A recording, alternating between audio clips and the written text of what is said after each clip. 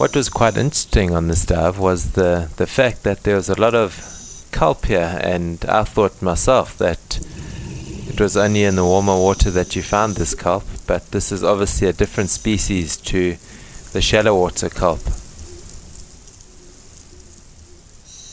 You can see the amazing root system that anchor these kelp stems. Obviously, very sturdy system to be able to withstand this kind of pressure and this kind of force that's um, forced upon it.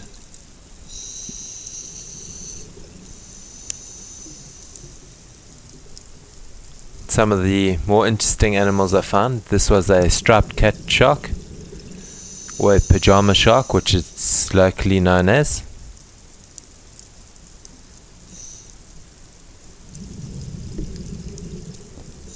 Unfortunately, at 34 meters, I could only stay there for 8 minutes. Uh, for me, this wasn't a great dive.